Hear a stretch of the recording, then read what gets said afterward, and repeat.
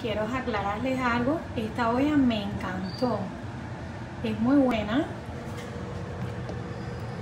A mí me gusta hervir estos huevos. Pero quiero decirles que si quieren el paso rápido que vi clientes que dicen que se les seca el agua o se queman las cosas, pasa si lo pones aquí.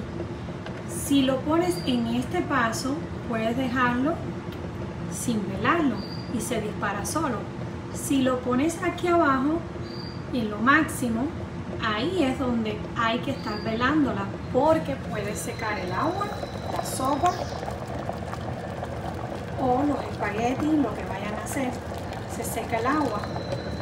Entonces, el mejor paso para mí, que no hay que velarlo, es este. Se las recomiendo. Gracias.